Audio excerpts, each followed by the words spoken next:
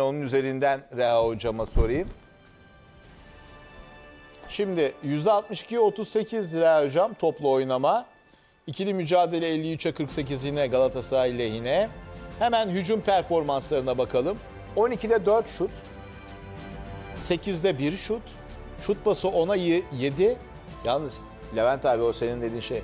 Rakip ceza sahasında topla buluşma 34'e 14. 34 Galatasaray için çok iyi bir rakam. Çünkü bu Galatasaray için e, 20-21 civarında ortalaması. Evet. Bugün 34 Geçen yapmışlar. hafta da galiba Lig 32 'ydi. ortalaması da zaten son 2-3 haftada yükseldi. 19-18'den İlk- falan ilk geliyor. haftada- ilk haftada Hatta rekordu. 16,5 gibiydi. Sonra 18'e yükseldi. Yavaş yavaş en son 21'di. Belki bu şu ortalama Ya biraz Rize maçı varsa belki verirler Ender'cim. Bakabiliriz orada. Ama Galatasaray rakip sahada çok buluşmuş ama rakibi de 14 defa buluşturmuş. Bunu atlamayalım. Nasıl okuyorsunuz hocam? Nasıl okumak lazım ya da? Teknik adam gözüyle.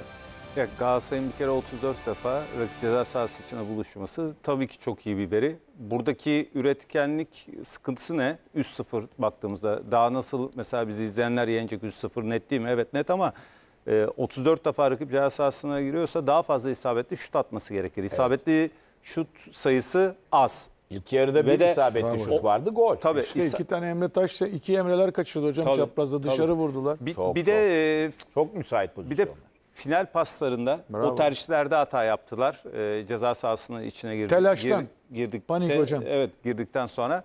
Yani biraz daha o final paslarına dikkat etseler, daha isabetli şut atsalar e, yani bu 3 gol daha sayısı yukarı çıkabilirdi.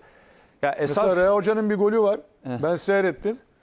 Gol nasıl biliyor musun? Pa- pazar yeri gibi içeride topa hakim olmak, düzeltmek, çabuk hareket etmek ve kaliteli vurmak. Bu çok önemli hocam. Koca, Kocaeli atmıştık. Neyse canım öyle. Ama hayır, ben bir oyuncu için söylüyorum hocam. Niye söylüyorsun yani? Yani e, Galatasaray takımı gibi şimdi becerili ayaklar da var işin gerçeği. Klas oyuncular da var. Bu üretkenliğin daha fazla olması gerekir. E, 34 bu çok ciddi bir rakam.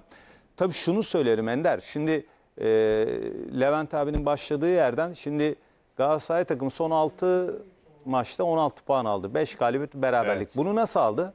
Şimdi Fatih Hoca yine tecrübesini ortaya koydu. Şimdi Galatasaray takımını tarif ederken o oyununu bir şeyi atlamamak gerekir. Önce kaos, Ender. Önce kaos. Fatih Hoca işte bir kaos ortamı yarattı. Ne gibi? Hem oyunculara kızdı. Kasımpaşa maçı bakıyorsun son dakikalar işte hakeme kızdı, oyunculara kızdı. O ara Rangers'tan elenildi. Arkasından sıkıntılı iki tane galibiyet. Hem Bir şöyle bir E, salladı bak şimdi, değil mi bak- şeyi herkesi? Bak, salladı. Sarstı bir. Salladı. Hem Ankara gücü hem de Erzurum spor maçlarında istenen oyun oynanmadı. Yani oyunun kalitesi çok düşüktü ama 6 puan aldı Galatasaray. Sonra ne oldu biliyor musun? Hem de çıktı ondan sonra işte başkanla yönetim kuruluyla ilgili kendi e, düşüncelerini ifade etmeye çalıştı. Önce kaosu yarattı. Şimdi Galatasaray'da ne var biliyor musun son 3 haftada? Fatih Hoca'nın istediği düzen var. Galatasaray'da olan ne biliyor musun değişen? Önce kaos sonra düzen. Bu düzen ne getiriyor? Bu düzen Galatasaray takımı özellikle tabii ki her maç Rize Spor maçı gibi illa işte dominant oynayacaksın, döndürmeyeceksin, rakibine ön alan baskısı yapacaksın, goller bulacaksın, daha fazla kaçıracaksın. Yani illa o maç gibi oynamayabilirsin ama bugün de ilk 20 dakika haricinde ilk 20 dakika SOS verdi. Ne ver? SOS veren neresiydi? Orta saha savunma ve kaleci Fatih. Özellikle alan boşaltıp öne çıktıklarında baskıyı birlikte götüremediğinde Galatasaray rakip yarı alanda topu çok çabuk geri kazanmadığında geriye çok koştuğunda bu sıkıntıyı yaşadı. Bu sefer de ilk 20 dakikada Hatay Spor işte hücum oyuncuları hem onlar da az önce söylediğimiz gibi final paslarda ve özellikle son vuruşlarda sıkıntı yaşadılar saha içinde. Bu da zaten skoru o ara değiştirme şanslarını da tepmiş oldular. Bundan sonra ne oldu? Galatasaray takımı zaten ilk yarı %70 topa, topa sahip olarak oynadı. Çok üretkendi. 20. dakikadan sonra daha fazla geriye koşmayan, daha fazla alan parçalasyonu özellikle top rakipteyken öyle alanda basan, topu kazanan, atak sürekliliğini daha doğru yapan ve de ilk yarı Cagney'in attığı golde Levent abi gayet güzel bir şekilde tarif etti. Şunu da söyleyelim. Yani o fizik, o boyla o topun frekansına girmek. Özellikle Levent abi ayağını yatırmak Tabii, o tabii. çok önemli. Galatasaray ilk yarı zaten 3-0. Kapattı derler ya Tabii hocam kapattı biliyorsunuz. ayağını çok iyi. Kapattı. Yani Çok vuruş iyi şekli, kapattı. ayağının vuruş şekli çok iyiydi. güzel, o topun frekansına o kadar mesela Emre Kılıç çok çabuk girebilir. Daha minyon yere yakın bir oyuncu. Cagney gibi daha uzun boylu oyuncu için zordur. Bu anlamda Jack Ney'in attığı gol değerli ve de ilk yarı Galatasaray 3-0 lehine de bitebilirdi. Doğru. Şimdi ikinci yarı ne oldu? Galatasaray yine topu rakibe bıraktı. Orada baskı yedi. Yine rakip oyunu kontrol etti. O 1-0 tabii ki tehlikeli skor. 2'yi bulduktan sonra zaten Galatasaray daha rahat oynadı. Ben Galatasaray'la ilgili şunu söylüyorum. Önce Fatih Hoca kaos, arkasından düzeni buldu Galatasaray için. Bu çok önemli. Bir de Galatasaray'ın bu çıkışında en önemli bana göre sınıfın akıllısı kim Ender? Sınıfın akıllısı takımda Feguli. oyun aklı. Hocam. Ben ona sınıfın akıllısı diyorum. Vallahi fark fark Fegül'den geliyor. Ya, sınıfın akıllısı ne yapıyor? Şimdi Feguli oyunun bir bölümünü oynamıyor. Oyunun genelinde var Ender. Oyunun içinde var. Takım aklı, orta sahada derin oyun aklı hatta. Merkezde oynadığında derin Hocam oyun çevre aklı. kontrolü sürekli yapıyor. Farkındalık düzeyi Evet, çok tabii, yüksek. tabii.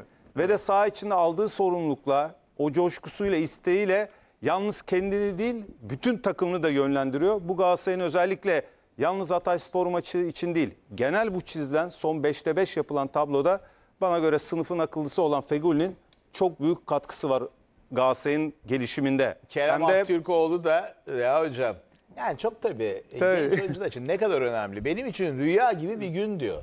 Yani bir de Geldiği yerden, değil mi diye tabii. beklerken de heyecan içinde e, ona vurgu yapmış. Ama e, şampiyonluğun en e, büyük adaylarından biriyiz. Hani rüya gibi çok iyi gidiyoruz diyor. Ve o işte heyecanla vurgu yapıyor. Seriyi devam ettiriyoruz. Tabii e, Bizim spor servisimizde bu vardı. oyuncuları kazanmak değerli. Bir şey söyleyebilir miyim? Bizim spor servisimizde vardı tahmin ediyorum ama son 3 hafta toplam şut 54. İsabetli Hemen şut arkadaşlar 27. bulur. Hemen. Ee, Kalesine gelen şut 2. Bugün bir bir tane şey.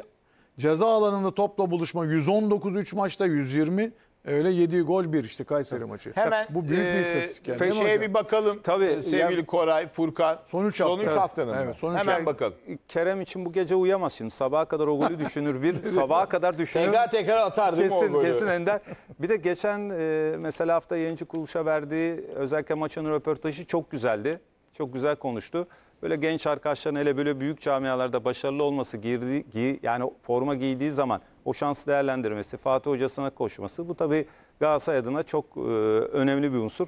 Tabii şunu söyleyeyim en son Ender, e, özellikle Feguli yalnız e, ortaya koyduğu akıl, kalitesiyle değil yalnız takım oyunu ve kalitesinde üst seviye çekmiş oldu.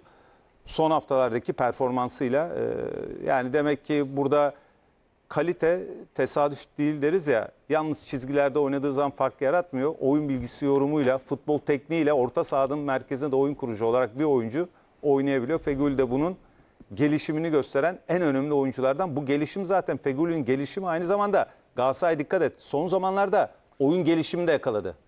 Galatasaray'ın çıkışa geçmesiyle Tabii. de paralel. Erman Hocam